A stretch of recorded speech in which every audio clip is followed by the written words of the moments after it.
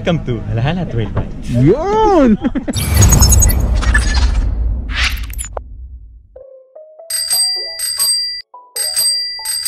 Yun! Welcome back sa ating munting YouTube channel at para sa episode na ito ay pag-uusapan natin ang nangyaring ride kasama mga taga-Tanay. So paano nga ba namin nakasama mga taga-Tanay?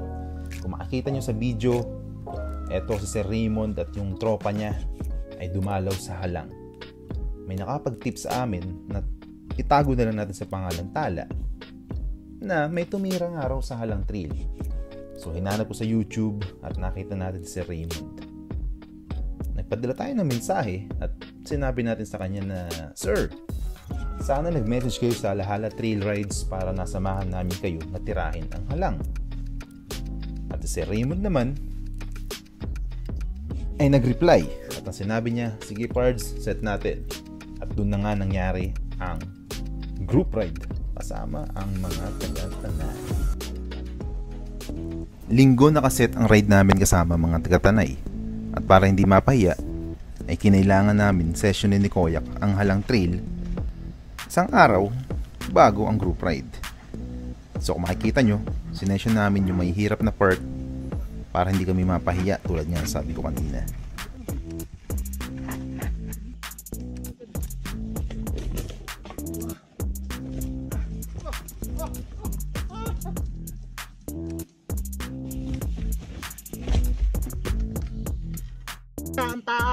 Mga alas 3 ng hapon kami nag-ride out. At dahil nga sinesyon namin ang ilang bahagi ng trail at syempre kasama na ang konting pahinga, medyo ginabi kami sa pagbaba. Si Koyak, uh, pangalawang beses niya palang ata ito makapunta dito sa Halang Trail or dito sa Rampage Trail sa Halang. Yung unang bisita nila, hindi pa ata sila nakadating sa dulo. Samantalang ako ay nakakailang beses ng balik. Medyo kilala na rin ako ng mga tao dito sa muka. Nabanggit din ni Koyak na parang dumali yung trail. O hindi naman dumali. Parang mas nabuo lang yung loob niya. Totoo nga ang sabi ng mga tropa namin na ride lang ng ride at gagaling ka rin at makukuha mo rin yung mga part na nahihirapan ka. Sa side ko naman, na-realize ko na mas masarap tirahin tong halang rampage trail kapag may kasama. At sa totoo lang, hindi ko pa rin talaga nabubuo ang trail na to. Madalas nauubusan ako ng lakas, sumasakit ng binti ko dahil siguro hardtail yung gamit ko. At syempre, may mga part din talaga na may hirap. So siguro kapag bumalik ulit kami rito, kailangan na namin kargahan talaga ng speed. Base na rin sa payo ng mga batikan. Dahil sabi nila, kapag mas mabilis ka, hindi mo na mararamdaman halos yung batuhan. Shoutout nga pala sa iyo, Jomark. Isa siya sa mga nagsabi na kailangan nga namin kargahan ng speed. At mabanggit ko na rin na si Jomark lang naman yung King of the Mountain sa Strava sa halang Rampage Trail na ito. Ang Rampage Trail ay may haba na kulang isang kilometro at ang naitalang oras ni Jomer ay 3 minutes at 6 seconds ata kung hindi ako nagkakamali. So kung may dadaya man sa inyo dito sa trail namin, siguro i-on nyo yung Strava nyo para makita namin kung gaano kayo kabilis para ma-inspire din kami na i-beat yung mga oras nyo.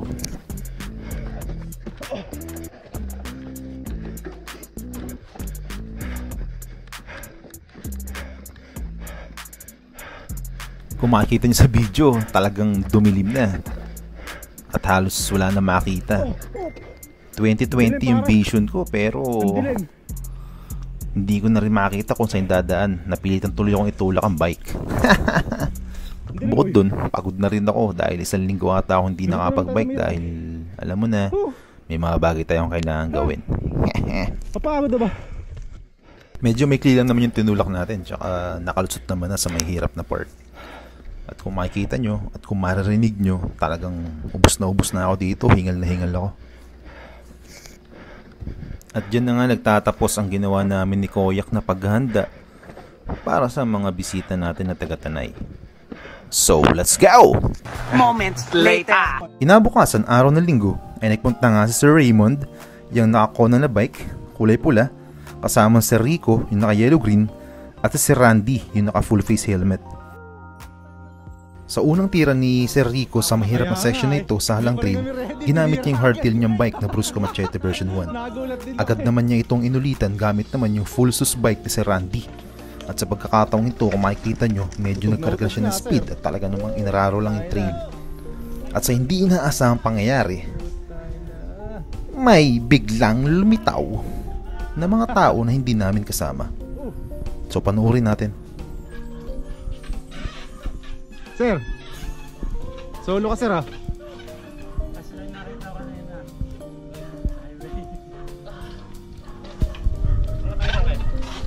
Taga dito lang, sir. Halala. Ay, sorry, sorry. Pangilang baba niyo na, sir?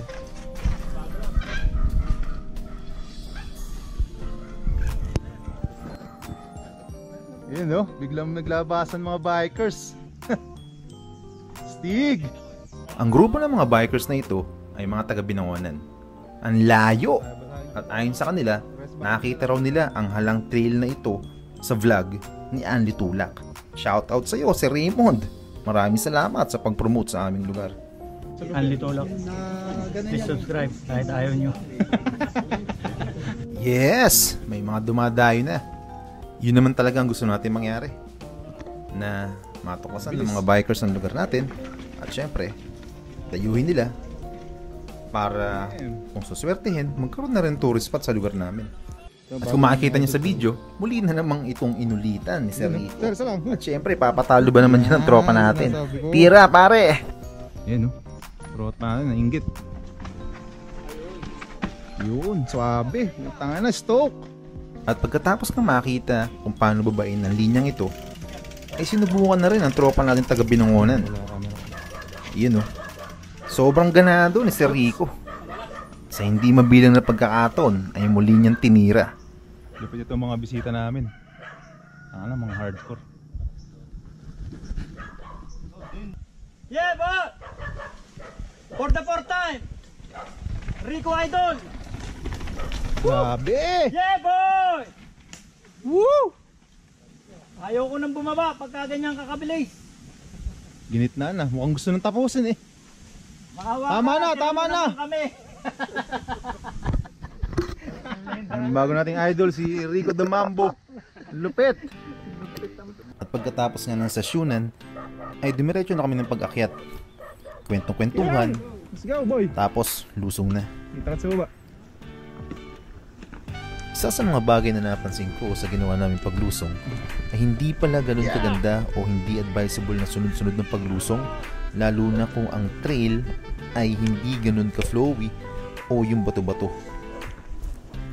Kapag kasi may tumigil na isa at nasa likod ka, sigurado mabubundol mo yung nasa harap mo. So sa susunod siguro kung bababa kami rito, siguro saktong pagitan lang para mas swabe ang pagbaba. Katulad ng ginagawa namin sa Butchingge, kahit na flowing trail din.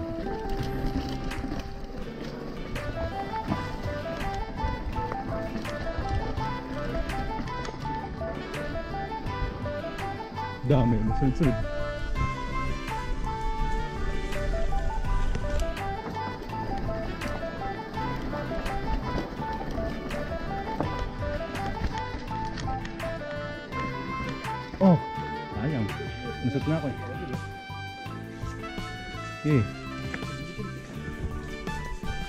Nabanggit ko kanina na hanggang ngayon ay hindi ko pa rin nabubuo ang trail na ito.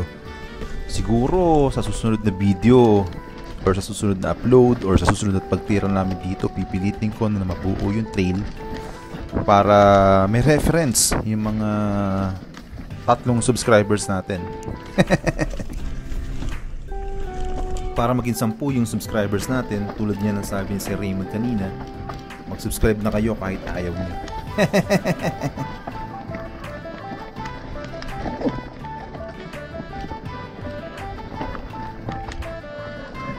Kung mapapansin nyo rin, hindi ako ganun kabilis dahil alam mo na mahirap ang train at isa pa, yun nga, may mga tao sa unahan medyo nakakailang. Katulad nga nito, bigla na lang sila nagtigilan dahil sa siguro si Sir Raymond data yun parang namali siya ng pwesto kaya napatigil siya.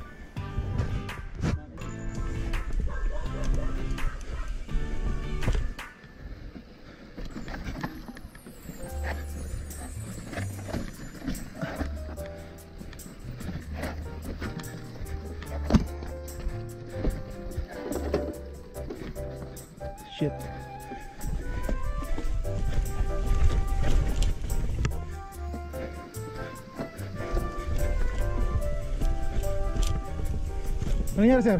Sa part na to, napansin ko na medyo matagal na nakatigil si Raymond. Kaya napatulong ako. Ang hinala ko, nagsemplang siya. Oop! Ba ako, pre? Ha? Ayaw nga, no? Saan na dali? Ayun. Sir, meron pa isa. Natanggal.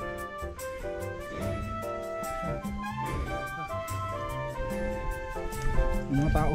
Pagkatapos makasiguro na okay si Raymond, ayun, pinauna ko na siya at bumaba na rin kami. Dahil malamang naghihintay na mga kasama namin. So, let's go! Tingnan natin ang tama ni si Raymond pagbaba.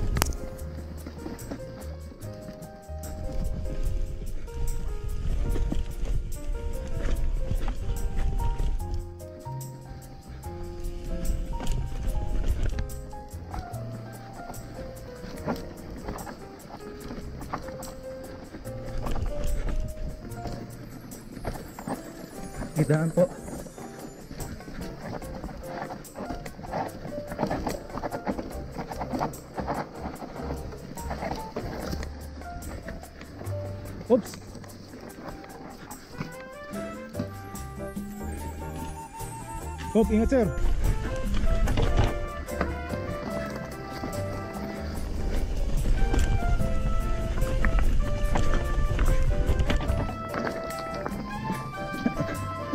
Yeah.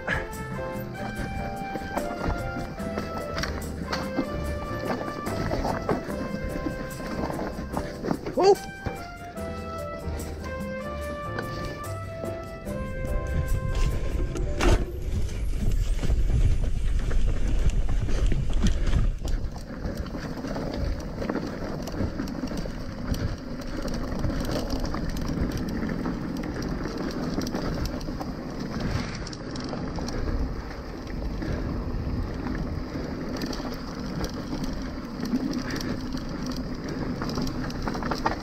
Hey!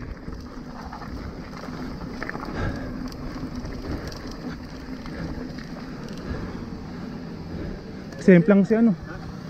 Nagsemplang. Ayun oh. Ay. Tik na ako sa memplang. Sa semplang. Sa ipot hindi. Next time. Mutan lalim pala boss. Ah fuck. Umano pala pare. Kinain yung laman niya. So, Ano? ngayon, Hindi gas-gas. Sa ngayon, hindi ko pa maramdaman yan. Oh, hindi gas-gas. Mamaya ako bukas. At dun na nga natatapos ang ride namin sa Halang Biga Rampage kung aming tawagin na trail. Okay naman si Sir Raymond. At dahil dyan, Google Map class muna ulit tayo. Ang Halang Biga Rampage ay matatagpuan sa Barangay Bayugo. Dito pa rin syempre sa Alahala. Isa ang Barangay Bayugo sa mga lugar sa bayan namin kung saan ay mayroong sityo sa ibabaw ng bundok. At ang sityo nga na iyon ay ang sityo halang. Ang berdeng linya na makikita sa mapa ay ang access road papunta sa sityo halang. Sa dulo ng berdeng linya ay kalsada pa rin pero hindi sementado. At doon niya dumudugtong ang pulang linya, eto na mismo ang halang Biga Rampage. So kung iisipin mo, pwede mong bikin sa kalsada paakyat doon sa Halangbiga Rampage. Ang problema, mabubulaga ka sa trail. Kaya para sa akin, mas advisable pa rin kung iba-back trail mo. Lalo na siguro para sa mga first timer. Para konting track read na rin habang umaahon at session-session sa mahihirap na part. Sa katagalan siguro pwede natin kakuntsabahin yung mga tricycle driver at mga motor na maghatak ng mga bike pataas. Dagdag kita rin sa kanila. Para naman sa mga tropa natin na gustong dumayo at interesadong subukan ang trail dito sa amin sa Alahala. Madali lang itong puntahan. Pwedeng pwede mong isearch sa Google Maps or sa Waze. Ang asul na linya naman ay trail din. Ito ay tinatawag naman namin halang new. Pwede ng pambanlaw kung sakaling nanggaling ka na sa halang rampage. para masubukan lang. Pagkatapos nga ng ride namin sa Halang, ay dumiretso na kami sa Butchingge. Ang goal ay maipasyal ng mga taga-tanay sa iba pang trail sa bayan namin.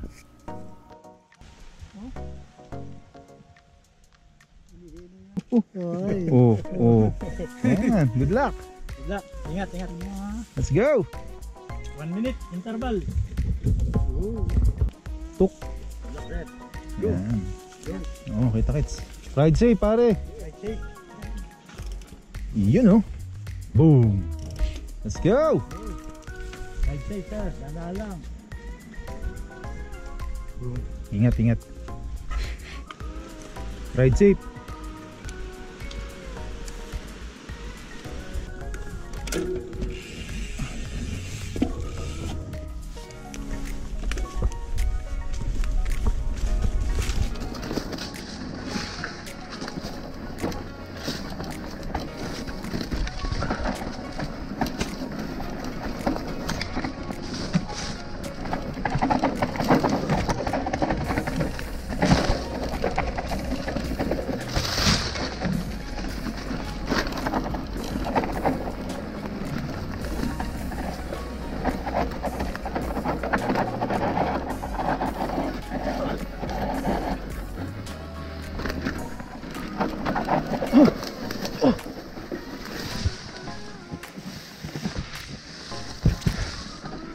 Nice ride.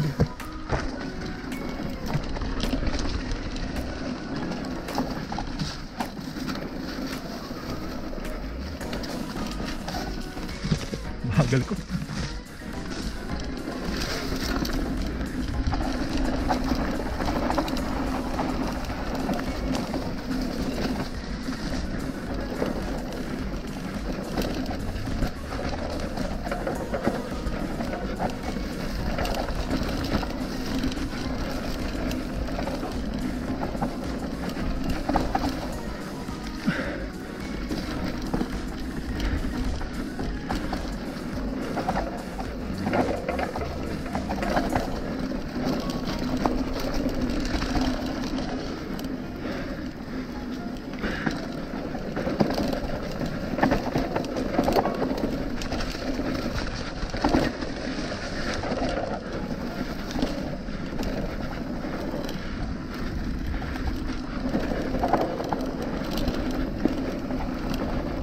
Eh boy. Woo! At pagkatapos nga makababa sa Butchinggi Trail, konting kwentuhan lang sa experience nila, pagkatapos ay umusad na kami sa lumihan. Doon, muli kami nagkwentuhan at mas lalo pang nakilala ang isa't isa. Salamat sa pagbabike, may mga bago kami kaibigan. Eh boss naman. Sir, sulit talaga. Thank you sa pag-imbita sir. Yan. Woo! Thank you. Yan, mga par natin. No? Salamat, salamat. Si ano, Sir Royak. Sir Raymond. Ang Sir ligo na. Rico. Yung Shanghai Saka daw si Sir Richard ba? Sir? Ay, Randy. Kahit ano na yung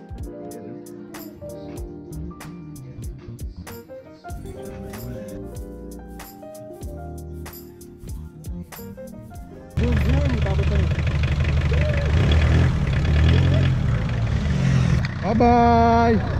Ingat sir, ingat sir, ingat, ingat. Ayos, ayos. Woo!